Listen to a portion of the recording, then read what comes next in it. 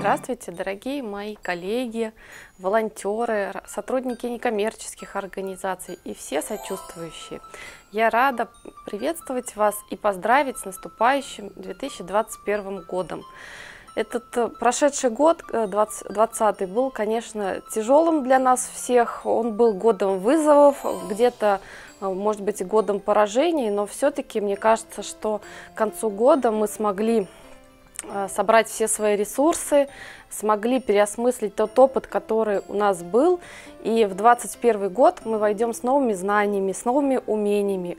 И я желаю, чтобы все получилось, чтобы все задуманные проекты, идеи, все реализовались у вас на самом высшем уровне, чтобы у вас были новые сторонники, новые волонтеры, новые финансовые источники.